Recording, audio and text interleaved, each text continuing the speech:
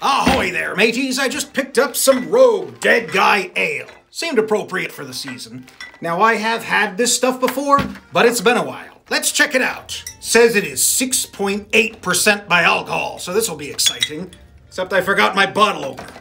One second. Ale, you say? Don't mind if I do. Fortunately, I brought my own bottle opener. And being that I'm an actual dead guy, my ale.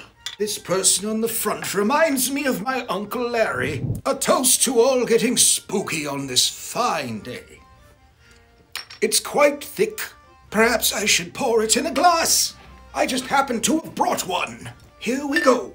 Ah, there's lots of room to grow. I've also brought my own straw, and it's bendy. The captain has fine taste in ale. In fact. That's more like it. Now, where did it go? Looking for this? Father Zombelius. Ah,